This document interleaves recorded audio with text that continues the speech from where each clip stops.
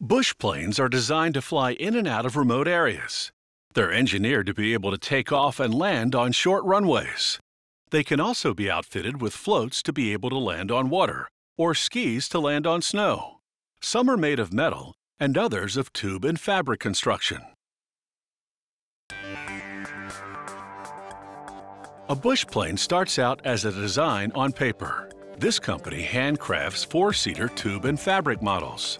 The tubes forming the airplane's skeleton, the fabric its skin.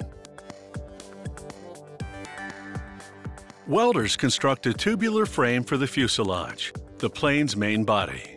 The tubes are chromoly, a type of steel that contains chromium and molybdenum, which makes it stronger than standard steel. Machinists make the aluminum fuel tank components and prepare the landing gear.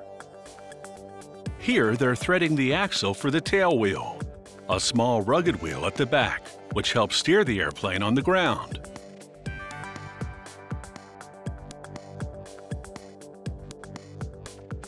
The landing gear consists of this tail wheel and two bigger wheels at the front.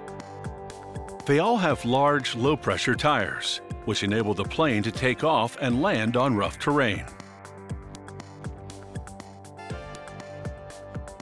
Workers spray aluminum pieces called ribs and spars with anti-corrosion paint, then rivet them together to build the internal structure of the wings.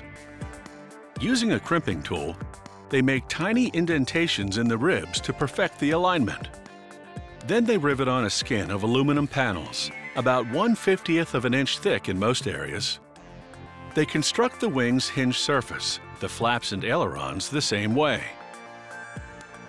The factory's paint shop sprays the wings, flaps, and ailerons with highly durable urethane paint, and the fuselage frame with powder coat paint, which is then baked on for extra durability.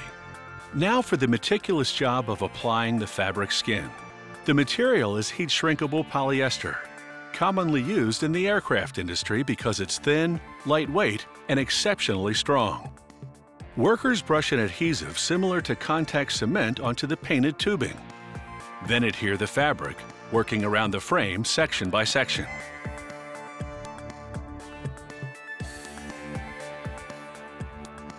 Once the fuselage is completely covered, they run a hot iron over the fabric.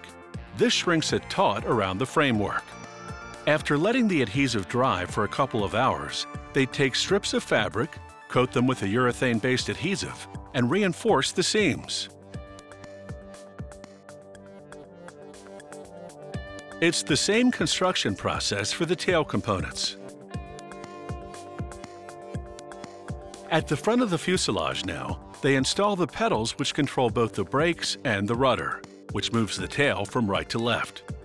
Then the cockpit instrument panel, a thin sheet of aluminum with laser-cut openings for all the flight instrumentation. Next, two linked control yokes. They move a series of chains which maneuver certain components such as the aileron control sprockets. Mechanics ran the fuel lines and most of the wiring within the fuselage frame prior to the fabric application.